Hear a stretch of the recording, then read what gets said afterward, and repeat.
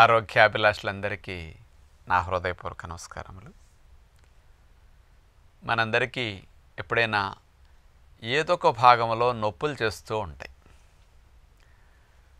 కొంతమందికి రెగ్యులర్గా ఉండే నొప్పులు అంటే మోకాళ్ళ నొప్పులు కీళ్ళ నొప్పులు అట్లా ఉంటాయి.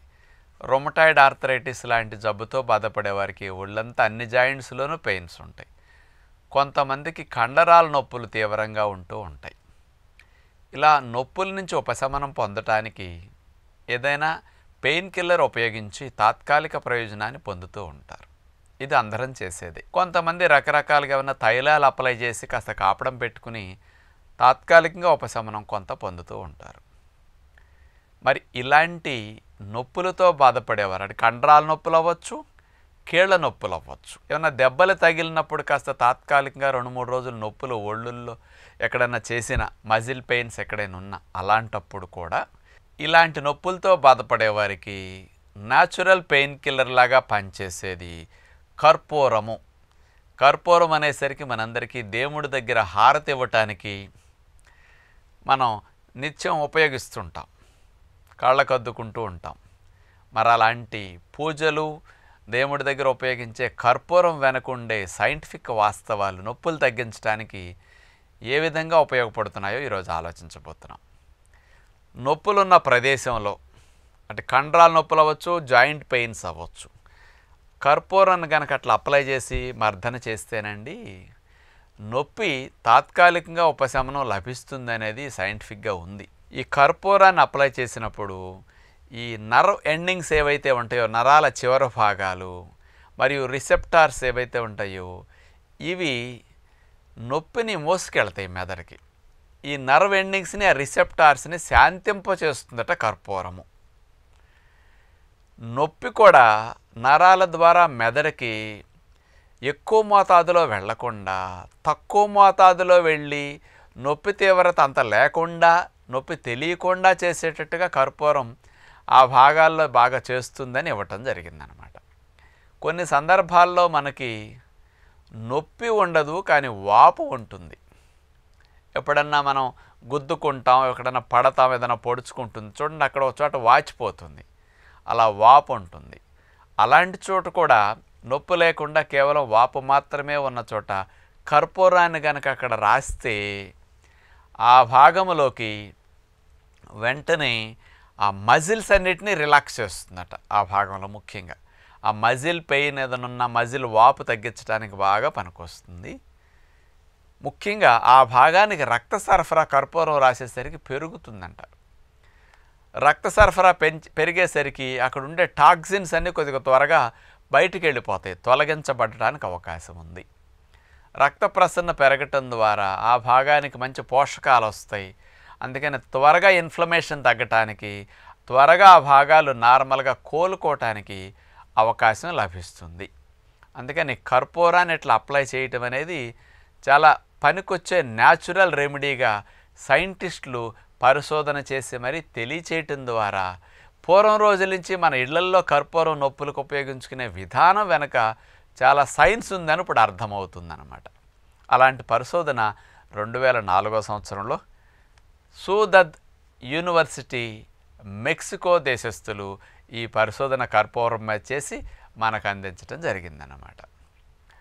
అట్లాగే నొప్పులు తగ్గించడానికి కర్పూరాన్ని ఒక ఆవనంలో కలిపి కనుక ఉపయోగించుకుంటే కూడా నొప్పులకి మర్దలకి చాలా బాగా పనికొస్తుందని సైంటిఫిక్గా ఉందన్నమాట. ఆవ నూనె అనేసరికి నొప్పి నివారణకు బాగా మంచిదని అందరికీ తెలుసు. ఆవకాయల్లో ఆవ నూనె బాగా వాడతారు కదా. మరి ఆవ నూనె చాలా ఫేమస్ కదా. అలాంటి ఆవ నూనెలో అలిల్ ఐసోథియోసైనేట్ అనే కెమికల్ ఉండటం వల్ల నొప్పిని తెలియజేసే రిసెప్టార్స్ని శాంతింపజేసి అక్కడి నుంచి నొప్పి నరాల ద్వారా మెదడుకి తక్కువ మోతాదులో చేరేటట్టుగా ఈ అలిల్ థియోసైనేట్ అనే కెమికల్ బాగా ఉపయోగపడుతుందట.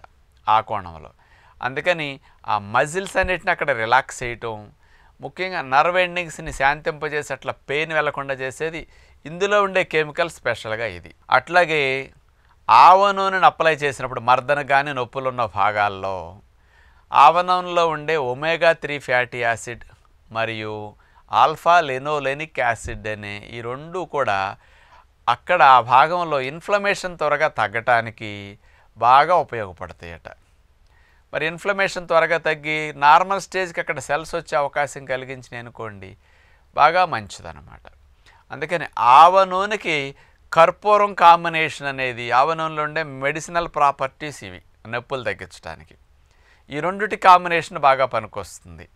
అందుకని ఆవ నూనెలో ఇలా నొప్పులు తగ్గించే న్యాచురల్ మెడిసినల్ ప్రాపర్టీస్ ఉన్నాయని నిరూపించిన వారు రెండు వేల పదహారో సంవత్సరంలో ఫ్రైడ్రిచ్ అలెగ్జాండర్ యూనివర్సిటీ జర్మనీ దేశస్థులు. మరి ఈ పరిశోధన ద్వారా ఆవ నూనె ఎంతో మంచిదని నొప్పులకు ఉపయోగపడుతుందని అర్థమైందనమాట అసలు ఈ రెండింటిని కాంబినేషన్ కలిపి పూర్వం రోజుల నుంచి ఉపయోగించేవారు కదా అది ఎలా అప్లై చేయొచ్చు నొప్పులు తగ్గించుకోవడానికి అని ఇప్పుడు ఆ విషయం మీద చెప్పుకుందాం అనమాట మామూలుగా మనకి ఒక వంద గ్రాములు ఆవ నూనె తీసుకోండి. అందులో పది నుంచి పదిహేను గ్రాములు కర్పూరం వేయండి. మీరు కర్పూరం కూడా మంచి క్వాలిటీ ఒరిజినల్ కర్పూరం తెచ్చుకోవాలి. నాసి రకం ఈ డూప్లికేట్ కంపెనీలు అమ్ముతుంటారు చాలా అసలు. వాటి వల్ల మెడిసినల్ ప్రాపర్టీస్ ఉండవు నొప్పులు తగ్గవు. మంచి కాస్ట్లీ ఒరిజినల్ కర్పూరం ఆవనంలో వేసేసి గంట సేపు అట్లా వదిలేసేయండి. కర్పూరం ఆవనంలో కరిగిపోతుందండి. ఆయిల్ ఇంట్లో అట్లా ఉంచుకోండి. ఈ ఆయిల్ని ఎక్కడైతే మీకు కండరాల నొప్పులు ఉంటాయో ఆ భాగంలో లేకపోతే ఒళ్ళంతా కాస్త ప్రయాణాలు చేసి మెట్లెక్కి కొండలెక్కి అలసిపోయారనుకోండి పులపరంగా నొప్పులు ఉంటాయి ఒళ్ళంతా కర్పూరం కలిపిన ఆవ నూనె ఒళ్ళంతా రాసి అర్థం చేసుకోవచ్చు అనమాట జాయింట్ పెయిన్స్ ఉన్నా కండరాల నొప్పులు ఉన్న అలాంటి చోట ఈ కర్పూరం ఆవ నూనె కాంబినేషన్ కలిపిన దాన్ని పది నిమిషాలు పావుగంట రుద్ది మర్దన చేసుకోవచ్చు. ఈ రెండుటి కలిపిన ఆయిల్ని మనం అట్లా అప్లై చేసేసరికి ఆ భాగంలో మజిల్స్ అన్ని బాగా రిలాక్స్ అవుతాయి. ఇలా మెడ నొప్పులున్నా మోకాళ్ళ నొప్పులున్నా ఇతర కీళ్ళ నొప్పులున్నా ఎక్కడైనా సరే దెబ్బలు తగిలి నొప్పులుగా ఉన్న అలాంటప్పుడు ఇట్లా ఆయిల్ అప్లై చేసి పది నిమిషాలు పావు గంట రుద్దుకున్న తర్వాత ఆ భాగంలో కాస్త వేడి నీళ్ళు బ్యాగులో వేడి నీళ్ళు పోసి అన్న కాపడం పెట్టుకోవచ్చు. లేదు అంటే కాస్త వేడి నీళ్ళు షవర్ అన్న ఆ భాగంలో మీద పడేటట్టు చేసుకోగలిగితే నొప్పులు త్వరగా తగ్గటానికి మంచి ఉపశమనం కలగటానికి అవకాశం ఉందన్నమాట. వేడి నీళ్ళ బ్యాగ్ పెట్టుకునేటప్పుడు కొంతమందికి వేడి ఎక్కువ ఉంటే కాలుతుంది అనుకుంటే ఒక పల్చటి వస్త్రం తడిపేసిన దాని మీద వేసి దాని మీద ఈ బ్యాగ్ పెట్టండి. అప్పుడు చర్మం కమలకుండా వేడి వెళ్ళి నొప్పి తగ్గుతుందన్నమాట. ఎక్కువ ఫలితం ఇంకా కనపడుతుంది. ఆవనంలో కర్పూరం కరిగిపోయిందని అప్లై చేశాక ఈ వేడి నీళ్ళ కాపడం అనేది మంచి రిలీఫ్ని ఇస్తుందన్నమాట ఈ రకంగా మీరు ఆవ నూనెను కర్పూరం కాంబినేషన్లో ఉపయోగించుకోవచ్చు. కొన్ని సందర్భాల్లో ఒట్టి కర్పూరాన్నే మనం ఇట్లా అప్లై చేసినప్పుడు కూడా చక్కటి ఫలితాన్ని న్యాచురల్ పెయిన్ కిల్లర్ వలె నొప్పులకు ఉపయోగించుకోవచ్చు అని తెలియచేస్తూ నమస్కారం.